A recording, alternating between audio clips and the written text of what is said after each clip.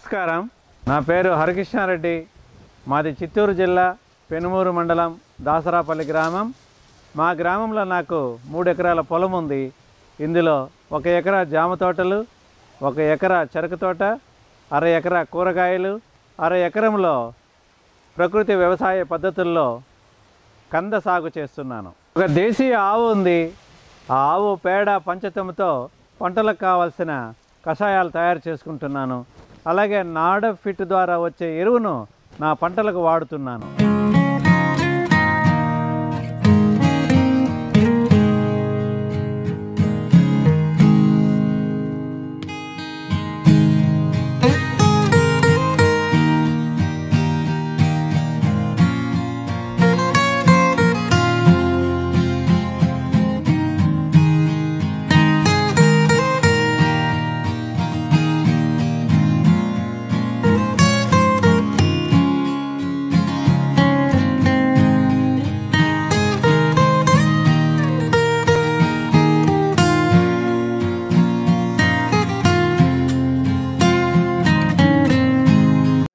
సంవత్సరాలుగా ప్రకృతి వ్యవసాయం చేస్తున్నాను. ఈ ప్రకృతి వ్యవసాయంలో ఖర్చులు తక్కువ ఆదాయం ఎక్కువ. ఈ కంద పంటను నేను ప్రకృతి వ్యవసాయ పద్ధతులతో సాగు చేస్తున్నాను. రెండు వందల యాభై కిలోల ఘనజీవామృతమును ఆఖరు దుక్కులో వేసుకున్నాను. అలాగే ఆరోగ్యకరమైన నాణ్యమైన నూరు గ్రాముల విత్తన గడ్డలను బీజామృతంతో విత్తన శుద్ధి చేసుకున్నాను.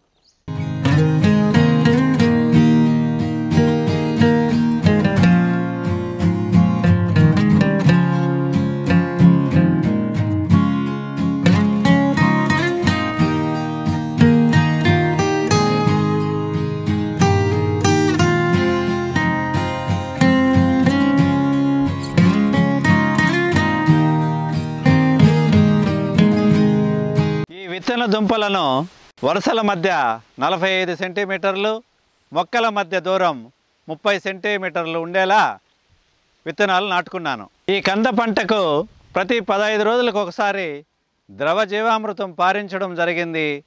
మరో పదహైదు రోజులకు ద్రవ జీవామృతం పిచికారీ చేయడం జరిగింది. దీనితో పంట ఏపుగా దృఢంగా ఆరోగ్యకరంగా ఏ చీడపీడలు లేకుండా ఉంది.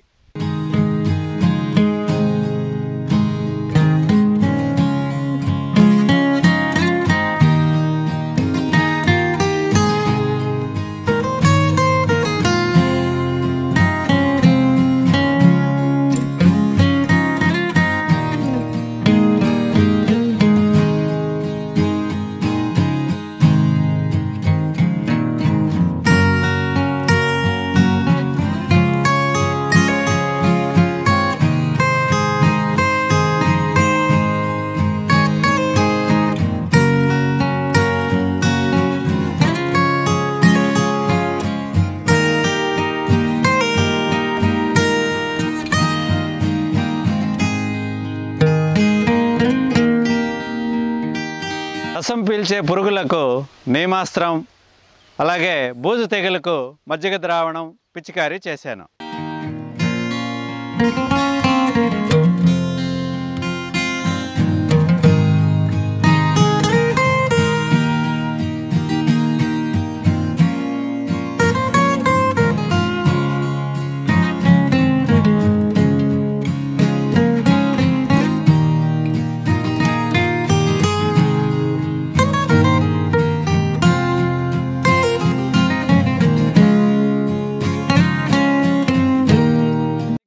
వర్షాలు పడ్డప్పుడు తోటలో నీరు నిలవకుండా చూసుకోవాలి. ఒకవేళ నీరు నిలిచిందంటే కాండము వేరు కుళ్ళిపోవడం జరుగుతుంది. ఇట్లా కాండం కుళ్ళు కానీ వేరు కుళ్ళు కానీ వచ్చినప్పుడు పుల్లటి మజ్జిగ పిచికారీ చేశాను. అలాగే మురికి నీరు నిలవకుండా చూసుకున్నాను.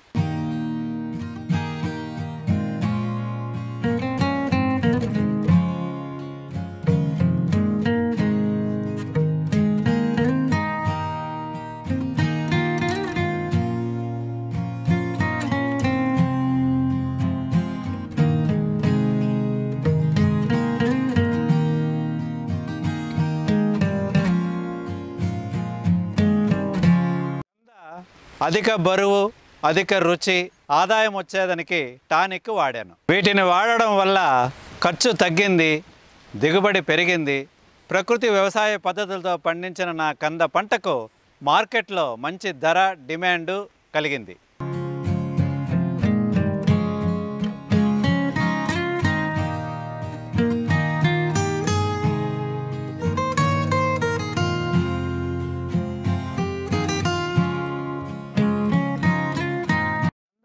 నాటిన ఏడెనిమిది నెలలకి పంట పక్వానికి వస్తుంది పక్వానికి వచ్చినప్పుడు ఆకులన్నీ ఎండి భూమి మీదకి వాలిపోతాయి. అప్పుడు మనము గడ్డలకు దెబ్బలు తగలకుండా జాగ్రత్తగా తవ్వి తీసుకున్నాను. ఈ అర ఎకరం కంద సాగుకు ఖర్చులు ఇలా ఉన్నాయి. దున్నడానికి రెండు వేలు ఎరువులకు ఐదు వేలు కూలీలకు పదివేలు విత్తనానికి పదహైదు వేలు కషాయాలు ద్రావణాలు మూడు వేలు ఇతర ఖర్చులు ఐదు వేలు మొత్తం నలభై వేల రూపాయలు ఖర్చు అయింది ఈ అర ఎకరంలో నాకు పన్నెండు టన్నులు దిగుబడి వచ్చింది.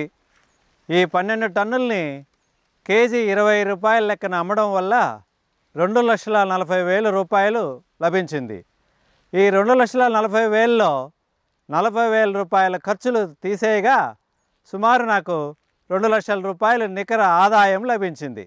ఈ ప్రకృతి వ్యవసాయ పద్ధతులతో కంద సాగు చేయడం వల్ల పెట్టుబడి తగ్గడమే కాకుండా మంచి నాణ్యమైన ఆరోగ్యకరమైన పంట దిగుబడి వచ్చింది. దీనితో ప్రజల ఆరోగ్యం కూడా బాగుంటుందని నేను భావిస్తున్నాను. రైతులందరూ కూడా ప్రకృతి వ్యవసాయ పద్ధతులతో వ్యవసాయం చేయడం ప్రారంభించాలని నేను ఆశిస్తున్నాను. రసాయన ఎరువులు మందులు వాడకుండా ప్రకృతి వ్యవసాయ పద్ధతులతో సేద్యం చేయడం వల్ల ఇటు నేల తల్లి ఆరోగ్యంగా ఉంది. ఈ పంటలు తిన్న నా గ్రామ ప్రజలు నేను కూడా ఆరోగ్యంగా ఉన్నాను. నేను ఈ గ్రామంలో ఒక ఆదర్శ రైతుగా ఉన్నాను.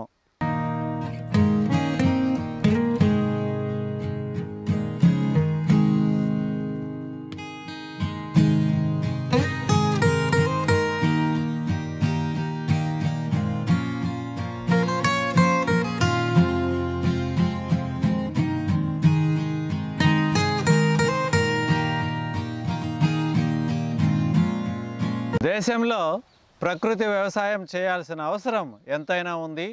మన ఆంధ్రప్రదేశ్ ప్రభుత్వం ఈ ప్రకృతి వ్యవసాయాన్ని చాలా బాగా ప్రోత్సహిస్తోంది. అంతేకాకుండా దేశంలో మనకు ఆరోగ్యం చెడిపోయి ఈ విష రసాయనాలు వాడడం వల్ల ప్రజలంతా కూడా జబ్బులు బారిన పడిపోతున్నారు. కాబట్టి మనమంతా కూడా ప్రకృతి వ్యవసాయం చేసినప్పుడు ప్రకృతి వ్యవసాయ పద్ధతులతో పంటలు పండించినప్పుడు ప్రజలంతా ఆరోగ్యంగా ఉంటారు. అంతేకాకుండా అధిక ధరలు కూడా తగ్గుతాయి. కాబట్టి రైతన్నలారా మీరందరూ కూడా ప్రకృతి వ్యవసాయం చేయడానికి ముందుకు రావాలి. ప్రకృతి వ్యవసాయమే చేయాలి. అందరూ కూడా మనము ప్రకృతి వ్యవసాయమే చేస్తామని ఈ రోజు నుంచి ప్రతిజ్ఞ చేద్దాం.